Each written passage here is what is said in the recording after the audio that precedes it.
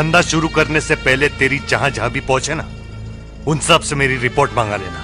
अगर किसी एक ने भी मेरे एरिया में धंधा शुरू करने की सलाह दी ना तुझे तो वर्दी की कसम, तेरे धंधे का रिबन काटने में खुद आऊँगा।